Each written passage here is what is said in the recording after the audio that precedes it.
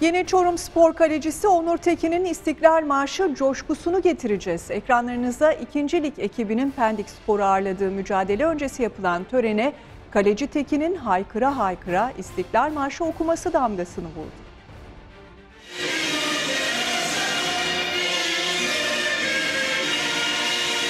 Gözlerindeki yaşı tuttu, haykıra haykıra söyledi.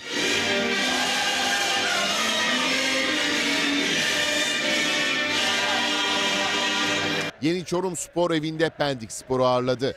Maç öncesi İstiklal Marşı okundu. Törene ev sahibi ekip kalecisi Onur Tekin'in coşkusu damga vurdu. Tekin İstiklal Marşı'na aykırarak eşlik etti. El hareketleri Tekin'in coşkusunu ortaya koydu.